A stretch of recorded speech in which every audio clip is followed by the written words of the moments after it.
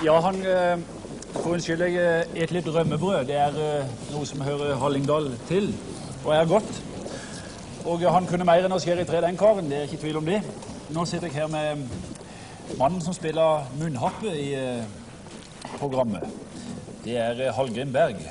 Og hva var det du spiller? Jo, det var egentlig en ganger fra dine kanter. Det betyr Setesdal.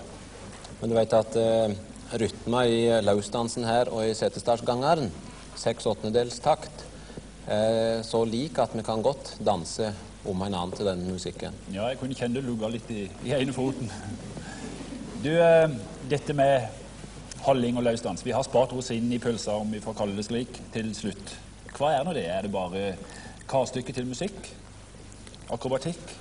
Det har vel glidd litt ut i retning å bli nesten bare akrobatikk etter vi fikk slike folkloreframsyninger og turistframsyninger overalt.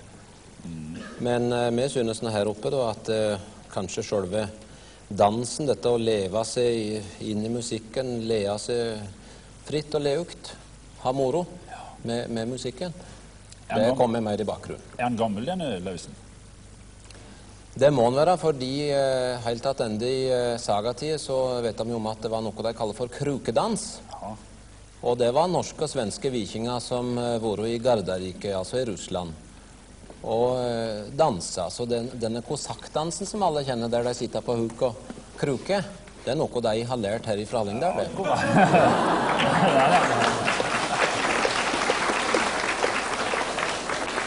Ja, men eh, eh, la oss nå ikke sitte og prate lenger. La oss nå se på, disse, på, dette, på denne fenomenale dansen som, eh, som Laus er.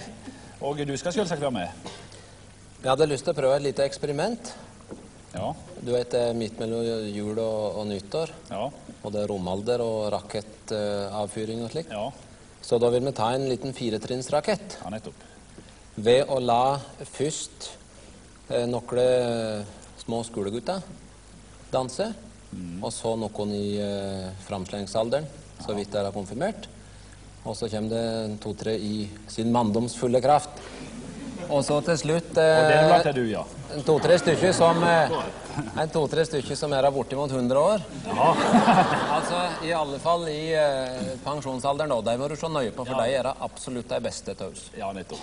Ja, men da eh, venter vi på denne løsen. Og spillmannen han er klar. Det er to spillmenn. Det er Torleif Stave på durspill og Jens Myhro på fele.